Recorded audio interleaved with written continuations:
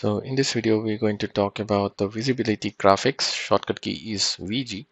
Suppose you are in a project template. You just open this one is a Revit architecture template.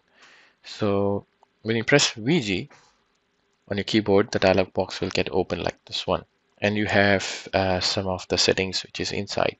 So today the main focus is all about the uh, modeling categories, the annotation categories, import categories, and filters. So we're going to talk about that. And the most important thing is the filters. It is really widely used when you're working in the BIM projects and how it's going to be helpful for you for your work.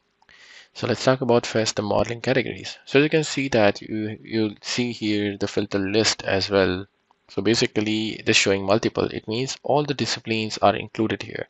But if you check this box, you'll see this architecture, structure, mechanical, electrical, plumbing, infrastructure. These are all tabs gets open.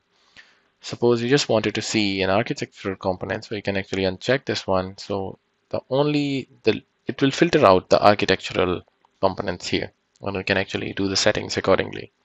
So for better understanding, let's do one thing. Let's just simply create a wall. Press WA on the keyboard and basically let's uh, go here and let's add some of the structural wall or beam or anything like that. So just for so let me put this on start elevation six feet and six feet like this. I think it will be visible. As you can see that it's now visible. Let's put in fine. You can see here's a beam and let's put on shade. I put this one aligned here so here is the architectural wall and here is a structural element. So basically when I press VG on the keyboard, so me put this a little bit on side so you can see that.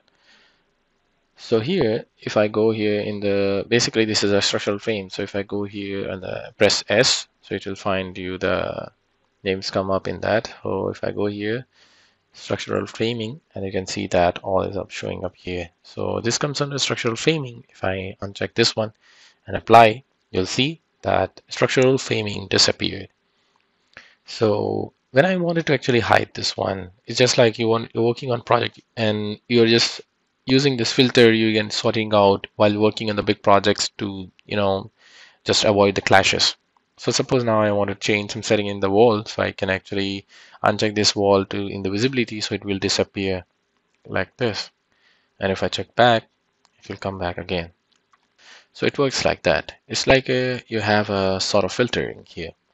So basically these are the lists actually you can sort it out according to you. If you want to actually work on the structural you can actually do like that and you can find out which element you wanted to see or not Suppose if you have, uh, if you go on a site, if I just hide this one, and if I just create a masking inside and go here into topo surface, I just create a topo surface like this one, and I click OK. Now we have topo surface here and a shade.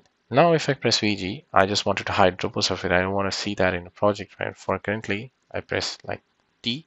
I'll find this topo topography, apply, and it will get disappear in the project, but still it's in the project.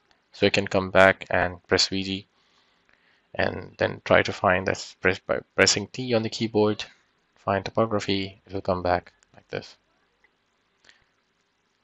Now let's talk about other elements as well. So let's press VG again. And here are the annotation categories. The same way you can actually hide the annotation. Basically, uh, you can actually control the visibility of annotations as well if you want to see in the project according to you. So if it isn't like you want to have a half tone, so it will come up like in a little bit grayish color like that. So if I just uh, just let me uh, delete this one for now. If I press TG and I take this wall, I think I need to load that. I don't have it. So let's go here on the level one and press TG and find this. So it's showing up here the question mark because there is no uh, mark given the type mark is like that so press like any of the number let's, let's give or maybe WA like that. So it's now showing WA12B so now if I go back here in the visibility graphic press VG on the keyboard. So actually in the annotation category I can find that the wall tags here. And if I check this box half tone it will comes you can see that it's showing another little bit in grayish color. So according to a project you can actually modify up to you so there are so many settings inside you can actually change that. Now the thing is actually the import categories. So basically whatever the elements or whatever the file you have imported in this uh, template it will show up here. Like any of the families or anything up like that it will show up here in this category. So suppose it's showing here input in families so that's why it's showing up here. And you can do like that and uh, if I just import here if I go here maybe link CAD file. So suppose uh, let me just add any of the CAD file just this one. Just for example. So now it's showing up here let's press VG and if I go in input category you can see that the T1 the DWG file is now imported here. As you can see that and if I uncheck this one it will get disappear. So you can control that as well from here. So that's the power of using the visibility graphics. Now let's talk about the most important topic filters. So let me just uh, delete some of this element. Let's create simple walls and I'll just do one thing. I'll just increase this width uh, sorry the thickness. And I'll just put this like this one. And I just copy this one multiple times. It's uh, same same type of wall I'm doing here like suppose we have three types of wall but with the same category and it's a 12 inches generic wall as you can see that here. Now the thing is actually we want to have like using how to use the filters. Suppose you wanted to have this wall as in a red color this one I have in green color or this one is some different color. So you can actually use that uh, through filter.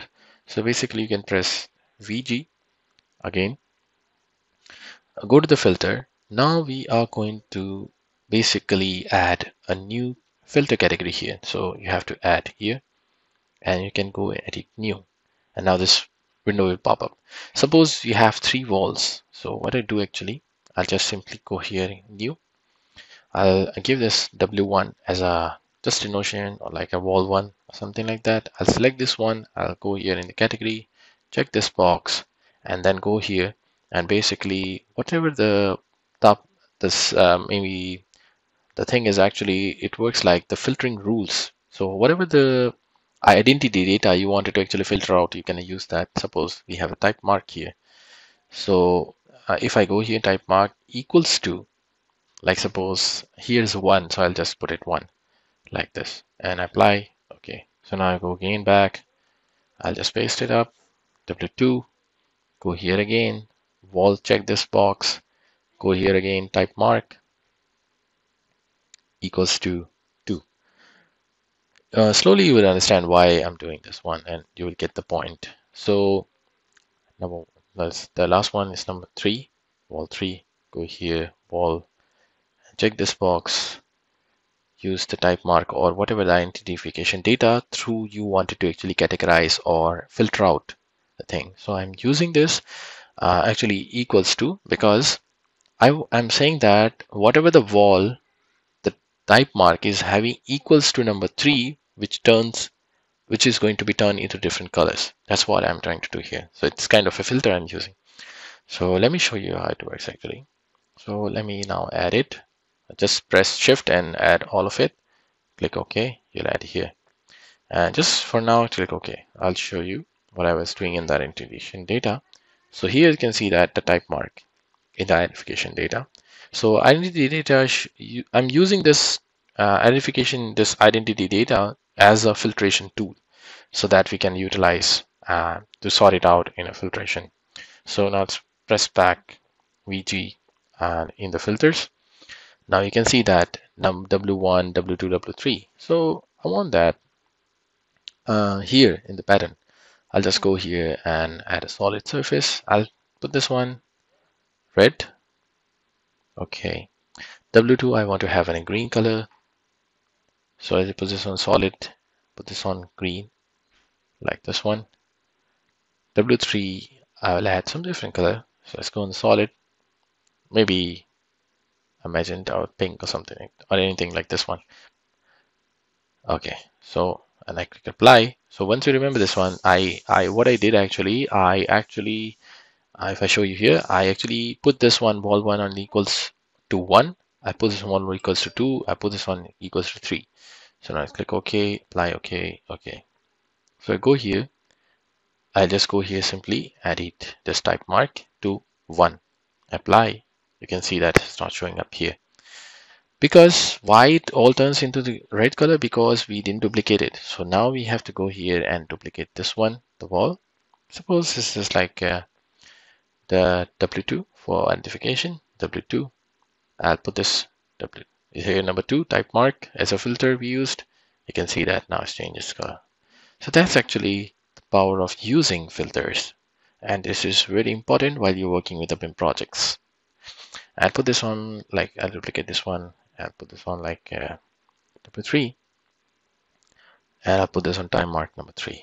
So we'll find out it's now in a different color. So this is actually we are controlling through that using these filters and we are assigning and saying that whatever the type mark which is equals to one which goes to red whatever the type mark which is equal to two will turns to green. Whatever the type mark uh, number three equals to three will turn it into magenta whatever color you want. So this is how you use filters just I show you for the wall you can use for doors or any of the elements you can categorize through.